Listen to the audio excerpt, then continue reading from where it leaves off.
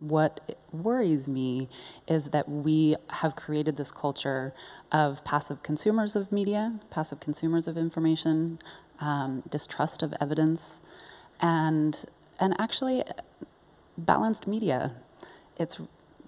it's really perpetuated a a particular challenge when you give when you give equal weight to an evidence-based side and an opinion-based side, or a side that has a huge consensus in the scientific literature and no consensus in the scientific literature, but they're given equal weight in the media, it suggests to the reader that there is equal weight, equal legitimacy to the arguments. And that's a, that's a problem, and we need to change that ethos.